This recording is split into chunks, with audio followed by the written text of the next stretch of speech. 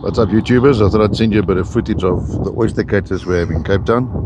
You see they have the freakiest orange eyes, it looks like they're looking right at you when they look at you. Anyway, beautiful birds.